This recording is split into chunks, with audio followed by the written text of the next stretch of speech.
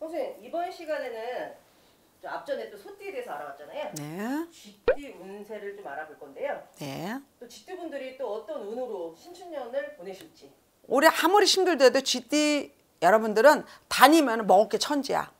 그래서 쥐띠는 올해 열심히 일하고 다니면은 괜찮습니다. 다 쥐띠도 올해 신축년 좋다겠지만 내가 만나지 말아야 될 사람이 있어. 특히 사업하는 사람. 우리가 누구 직원을 쓴다든지 뭐가 있다든지 살이 낀 분. 요거는 정말 피해가지 못한 살은 먼저 방송에도 원진살 얘기했어요. 원진살. 원진살은 피해가라고 얘기했어요. 그럼 우리 쥐띠는 제일 나고 상극이 되는 거 양띠야. 음. 양띠는 피해가고 자 우리 요즘은 다 같이 맞벌이하고 직장 다녀야 되고 다 몰래서 벌어먹고 살아야 돼. 근데 나는 저 사람이 너무 미워. 근데 말하면 안 돼. 내 속을 끓고 살아. 근데 그 사람을 건드리면은 나는 화근이 와. 그게 어떤 띠까? 소띠야. 그런데 아무리 사업을 하고 뭐하고 우리 학교를 가거나 뭐, 뭐 대학 입시를 하거나 무슨 뭐 어? 지금 안 되는 일 하다가 나는 새 거를 더 창업을 해야 돼 뭐 해야 돼 하면 2월 달은 조금 피해가면서 무슨 계약을 하든지 뭐를 하든지 이렇게 하세요. 5월 달도 피해가고 8월 달도 피해가세요. 내가 2월 달에 무슨 문서를 잡거나 뭐 하면은 내가 속상한 일이 있어. 내 살을 내가 파. 내가 때, 때, 내 따구를 내가 때린 형국이나 똑같아. 또 직장에서 높은 상관이 나를 질책을 해. 그 사람 가만히 봐. 생일이 언젠가. 5월 달에 상관이 나를 뭐, 뭐라고 말했어. 그럼 참어. 내내, 내내만 해야지. 나 잘리지 않아. 고 해요. 고 달만 넘어가면 쥐띠도 좋아. 그러니까 좋은 일이 자꾸 자꾸 자꾸 생겨. 승진해. 뭐가. 그 대신 좋다고 해서 노력 안 하면 안 되죠. 우리 직장 단 사람은 내 그릇이 요만큼이면은 공부를 더 해야 돼 난 자격증을 뒀다든가 나는 뭘 한다든가 이러면 이 사람은 100% 승진해. 8월 달에는 아무것도 하지 마. 내가 내가 쥐가 당한테 당해. 쥐는 힘이 없어 그래서 이 쥐띠는 만약에 닭 띄우고 있으면 나가서 딴짓거리해. 너무너무 좋은 해운년인데 이것도 모르고 난 8월 달에 막 일이 벌렸어. 막 아유 우리 뭐 애들 뭐, 뭐 어디 뭐 하고 뭐 뭐 막 보냈어. 그러면 어떻게? 안 좋죠. 요 달만 피하면 우리 쥐띠 올만 좋은 게 내년에 더 좋아요.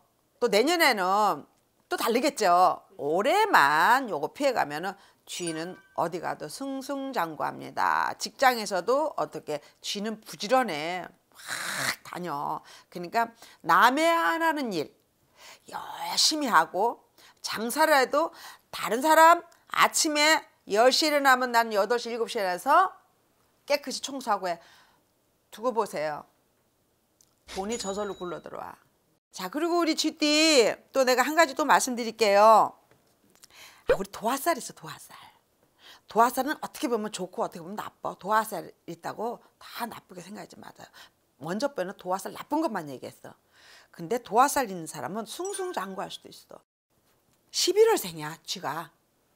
11월생. 이러면 11월 달에 오히려 나는 숭숭장구할 수 있어. 쥐가. 내가 이미 또 꽃이 펴. 이렇게 꽃이 피니까 막으면서 내가 도화살이 있다는 거 오늘 이거 들으면 아세요. 도화살이 살이 꼈으니까 어떻게 내가 살은 내가 인간이니까 가, 버틸 수가 있어. 그러면 어떻게 하는 일이 더 많이 열릴 수가 있어.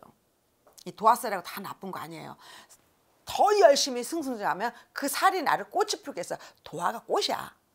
내가 남은 남의 여자가 보이든지 내가 여자면 남자가 보이든지 요거 참어. 그럼 오히려 좋은 일이 생겨. 오늘 이 말씀도 제가 곁들여서 말씀드리겠습니다.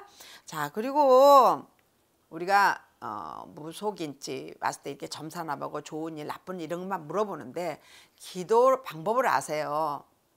한적한 사람 천당 보낸다 그래 교회에서는 절에서는 극락 보낸다 그래. 우리 여기서는 하늘로 보내 저승문을 열어서 하늘로 가는 길을 문을 열어준다 그래요. 그럼 험하게 간 사람 누가 천도해 줄까? 산 사람이 천도해 주는 거야.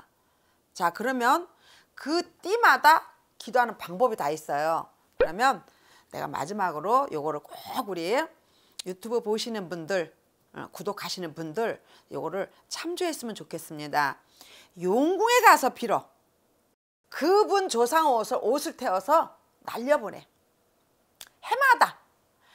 우리가 나이가 연세가 들고 가신 분들은 저승문을 열고 들어가지만 이렇게 음독자나 물에 빠지는 한의적 안 사람들은 못 들어가요. 그러면 요런 사람들 옷을 어디 가서 기도하나? 용궁에 가서 그저 죽을 때까지 내 자식이 그렇게 갔어. 내 동기간이 그렇게 갔어. 내 부모가 자살을 했어.